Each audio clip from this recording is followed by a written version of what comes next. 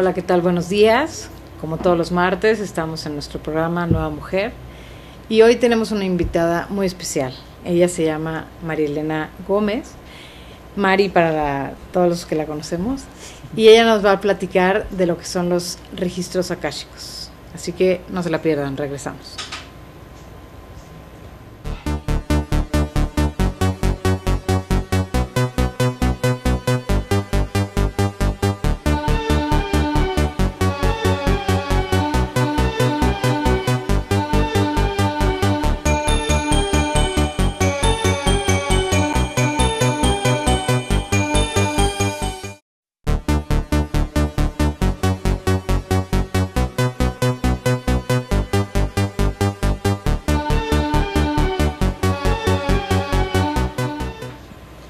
Hola, ¿qué tal? Muy buenos días, muy buenos días Ana María, buenos días. Buenos días. Marilena, Buenos eh, qué gusto tenerte el día de hoy con nosotros. Gracias. Es un honor que, que estés aquí en el programa. Y bueno, Así querido es. público, buenos días, esperemos que hayan tenido una semana maravillosa. Y bueno, el día de hoy estamos muy complacidos con la presencia de, de Marilena que pues, nos va a hablar de la lectura de los, de los registros akáshicos. ¿Qué es eso? Bueno, pues ahorita nos va a decir qué es eso. ¿Qué es eso? Pues esto es una, una herramienta para crecer espiritualmente y nos ayuda a eh, desatar nudos o bloqueos que estamos viviendo en nuestra vida, ¿no? En la vida actual. Tiene que ver con vidas pasadas hasta futuras y, y bueno, aquí entre paréntesis porque sabemos que eh, las vidas futuras se va creando con el presente, ¿no? Claro. Pero en algunos casos te dejan ver más o menos qué es lo que... El potencial, como dicen. Como, ¿no? ajá, ¿Qué es lo que exactamente. viene, ¿no? Sí, sí, sí. Ok. Qué padre. Entonces, bueno, pues es una práctica muy, muy antigua, pero eh, a la vez muy, muy actual. Muy actual. Sí, mucha Muy gente. retomada, ¿no? Sí, Recientemente. exacto. mu- mucha gente no habrá o, eh, escuchado esto de los registros akáshicos, pero es una práctica ya muy ancestral y estaba activa antes porque teníamos la glándula pineal activa. Entonces había el acceso pues muy fácilmente y ahorita que se está retomando otra vez esto de reactivar nuestra glándula pineal, que se están abriendo tantos eh, caminos, eh, eh, estamos eh, accediendo otra vez a los registros akáshicos. ¿no? Ay, qué padre. Oye, pero antes de que entremos de lleno, platícanos de ti un poquito.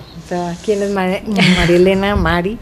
Este, ¿cómo llegaste a esto? Platícanos un poquito de tu vida, Sí, porque llamó la atención, ¿no? a veces a veces sentimos Pues- que solo los grandes iluminados tienen acceso a estas Sí, cosas, sí, ¿no? sí. Entonces, No, para nada, ¿eh? To- todos podemos. No soy iluminada, ni soy de otro planeta, ni nada. Bueno, hay quien bueno, sabe, ¿no? bueno, hay no nos metamos en esos temas, pero Este, pero mira, yo soy artista plástica. Pinto, eh, hago escultura. Yo recuerdo que desde chiquita, eh, bueno, mi vida era estar dibujando, dibujando, pintando y haciendo cositas con plastilina, con, con tierra, con todo, ¿no? se pudiera. Sí, y, y recuerdo muy bien, ahora lo entiendo, porque yo hablaba sola, era muy introvertida, no Mm, me daba, bueno, me daba pena hasta contestar presente a la hora de que De o la- sea, de sí, la sí, lista. sí, me ponía roja y todo, ¿no? Entonces, yo hablaba sola. Eh, me hacía preguntas, me contestaba, me ponían a lavar los trastes en un banquito y yo y, y, eh, hablaba y tú eres fulano y les ponía nombre a las cucharas y a los platos y todo, o sea, y ahora ahora me doy cuenta de que era una conversación con mis guías y mis Ah, maestros, claro. fíjate, porque Oh, aquí en esto de la, de la práctica de los registros akáshicos, a mí se me abren solitos los registros. De repente voy caminando y, y- y- y ya me doy cuenta de que estoy teniendo una conversación conmigo misma, aparentemente, porque es mi voz, no oigo voces de ultratumba ni nada, y me doy cuenta de que estoy teniendo una conversación. ¿Cómo me doy cuenta? Porque son, son respuestas que no las daría yo. O sea, e- en eso de los registros es clarísimo, no hay manera de que te confundas, ¿no? Entonces, este, de chiquita te digo, siempre hablaba yo de esto y la y ahora sé que la creatividad tiene mucho que ver con la espiritualidad. Seguro, claro. haces trabajar el, el lado derecho del, Del del cerebro. cerebro, entonces se, se está creando ahí un equilibrio, que es lo que lo que nos está haciendo falta en este tiempo para entender muchas de las cosas, o sea, mucho. A la gente le da como miedito hablar de extraterrestres, porque se imagina inmediatamente un Una invasión. verde Es con- una ¿no? invasión. y malos y todo. O sea, no, no, no es, no es así. Son los seres de luz son extraterrestres porque no viven No en la viven en la tierra. Bajan a la tierra, nos dan mensajes, pero no viven en la tierra. La Virgen María no vive en la tierra, baja. O sea, Claro, ¿no? claro. Entonces, eh, esta creatividad que se, que se da cuando tienes tu otro parte del cerebro activo, eh, te abre a otras posibilidades. Ahora, yo siempre tuve mucho interés por la muerte. ¿Por qué? No lo sé. ¿Se murieron No lo sé. muchas gentes tuyas? Fíjate que no, no, no, no, no, no, no se murieron muchas gentes, pero me llamaba mucho la atención los panteones. ¿No te Pero no lo miedo? veía como, no, no como algo que, que me diera miedo. Bueno, incluso trabajé en un panteón, Fíjate. porque decía, No, bueno, ¿qué hacías Sí, ahí? pues era la encargada y entonces Era cuando la única que no llegaban, tenía miedo y le encantaba. ¿no? cuando llegaban los servicios, este, pues acompañaba y los papeles y todo, porque yo decía, no, la gente no se puede morir, irse y ya desapareció, acabó, ¿no? Entonces, cuando no había servicios, estaba en el Panteón Francés de la Piedad, que es un panteón Ah, muy viejo, bonito, bo- sí, bonito, El y- que es hermoso, el que tiene las jacarandas. Pues está ahí en, en, en, en ¿En el viaducto. Ah, bueno, ese no. también, en ese también trabajé. Ah, es que Es que ese es precioso, Sí. las jacarandas, bueno. No, bueno, yo estuve cuando todavía no estaba precioso y era una oficina así la- larguísima y que espantaban y que no sé cuánto. Bueno, luego le- les voy a platicar, pero iba yo, cuando no había servicios, me iba yo a las tumbas y me sentaba y platicaba. Y mira tú nada más, a ver, naciste tal fecha y moriste tal y de qué. Y me hacía yo historias.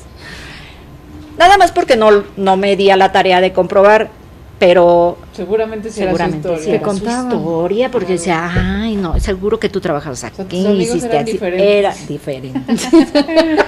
Eran mis. Me dice, mija, ¿cuál es tu, tu canción favorita? Pues la de Mecano, la de y los muertos aquí. La pasamos felices". muy bien. claro. Este, esa fue una parte de, de mi vida. Después, Claro. bueno, como que se calmó aquello, vino la, la adolescencia, vino este la juventud y, y hubo otras cosas, pero siempre Una distracción. Sí, siempre estuvo presente en mí esa otra vocecita interna. ¿Cuándo se, desta- se, se- se prendió este foco?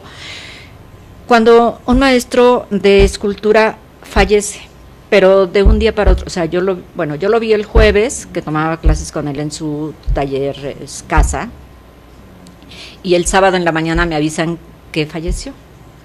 ¿Estaba decía, enfermo o algo? Nada. Tenía diabetes, pero no era una situación. Tenía De 39 años. Uh, Ay, no, qué bueno. joven. Entonces dije, no, no, no, no, no, no. Esto sí, esto sí, no puede ser. Bueno, se hizo todo, ¿verdad? Eh, los funerales, etcétera.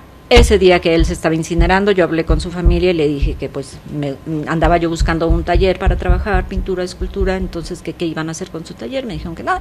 El caso es que se dio que yo estuviera En a- su taller. actualmente estoy en, en ese taller.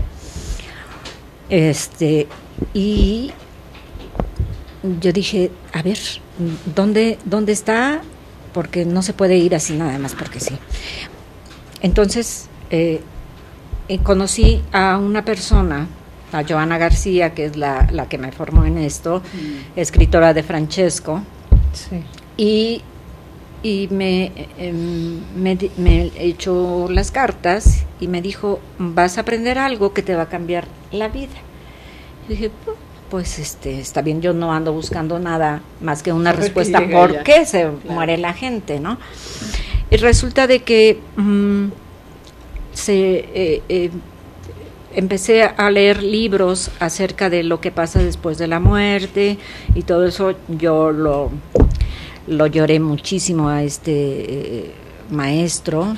Él me impulsó mucho a que yo ya dejara de tomar clases porque yo tomaba clases con todos los maestros habidos y por haber y nunca me... me no me te la creías, No ¿no? me la creía. ¿no? El día que me dijo, pon la exposición, y yo, no, no, no, no, no, ¿quién le va a gustar lo que hago? Y no, no, no. El día que lo puse, bueno, fue de verdad una sorpresa. Y eh, empecé a ver qué pasaba con la gente, si me escuchaba, si yo le hablaba, me escuchaba. Entonces por ahí empecé a, a ver que, que sí, que no los podemos ver, no, bueno, entre comillas no los podemos ver porque yo lo vi a él. Eh, después de un tiempo me pude conectar con él dos minutos, porque yo he tenido eh,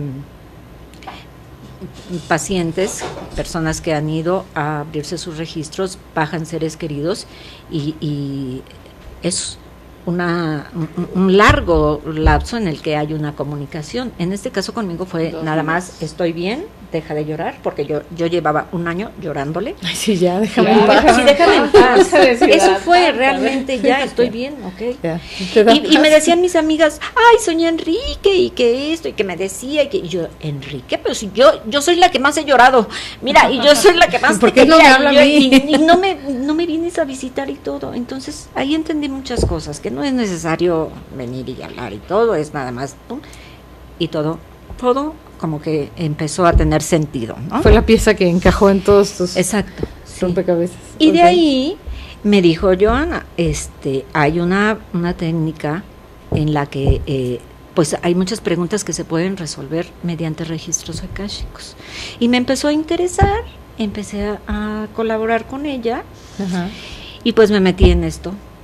Y aquí estoy, pero no tengo nada en especial, de verdad. Este, todos tenemos acceso. Lo único es creérsela, porque ahí es donde el ego te, no te juega, más, te dice, no, no, no, tú estás diciendo esto. o- o- o- Seguro ni es cierto, No te lo es estás cierto. inventando. Te lo estás inventando, son palabras tuyas. Entonces, yo así como que tengo un pacto con los maestros y los guías y a mí díganme bien exacto nombres y fechas. Te juro que ha habido veces que nombres, fechas te los dan sin Que no tienen que ver error. contigo.